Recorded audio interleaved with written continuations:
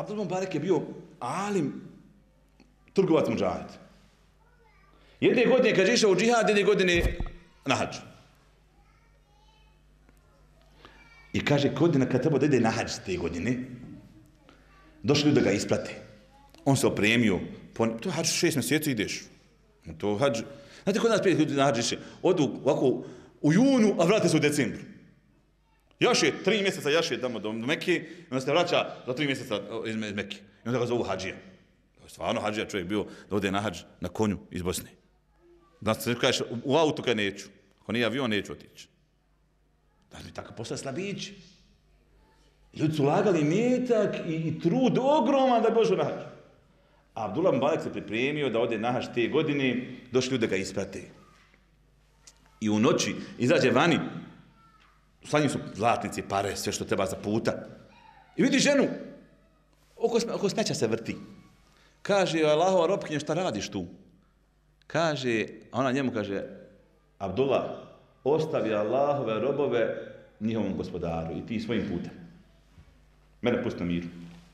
Kaže, šta radiš tu? Hoću da, da, da, da, onaj, znam šta radiš. Allahom te zaklinam da mi kažeš šta radiš tu. Kaže, ako smo zakljali Allahom, ja ću ti reći. Ja sam, kaže, žena koju je halal da jede mrtve životinje. Pa tako se Arapi prijao. Da ti opiše, opiše ti svoje stanje bez da ti kaže direktno. Šta znači to ja sam žena koja je halal da jede životinje, mrtve životinje? Siromašna do tog levela da je to halal.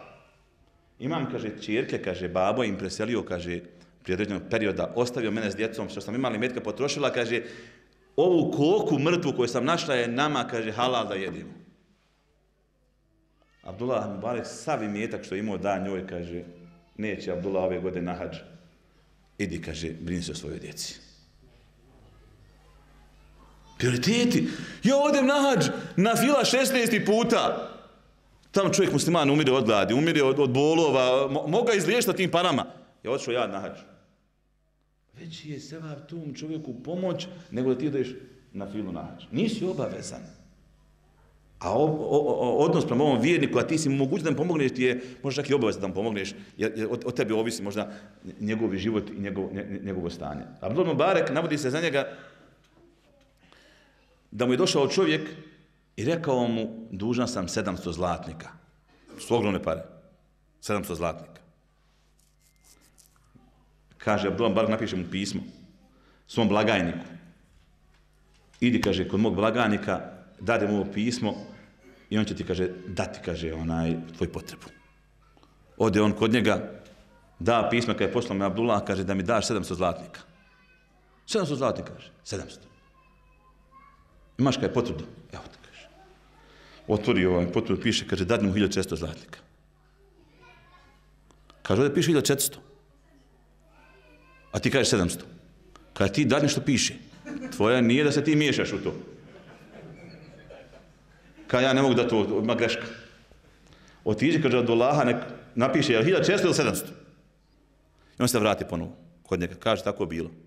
Kaže, daj vam, kaže. Napiše onaj sa leđa da mu da 2800. A zatvori. I onda ovaj kaže, evo te, napisao ti Abdullah. Kaže, piše 2800. Kaže, ću ti se rekli. Napisao mu Abdullah svom blagajnu, kaže, ja sam htio, kaže, da mu pomognem i da ga usrećim. Ubio si mi, kaže, jedno dobro djelo. Znači, da vratim mu dug i da mu dam da ima. E ti si ubio tu sreću njegovu. Sad si vam riješio dug, skinuo sam mu brigu sa, sa leđa, a ja sam htio da ga usrećim još u životu. Ti si ubio to, nisi htio da mu daš ti 700 dinara još da ga usrećiš. E, ja hoću kada duplo da ga obradujem. Briga o ljudima u našoj vjeri je veličanstvena. Zato treba čovjek da gleda, da pored, da kažem, te prioritete e, na taj, na taj jedan e, način i da uvijek da prednost onome što vjera, e, čemu vjera daje prednost nad onim na čim on privatno sam ima koristi.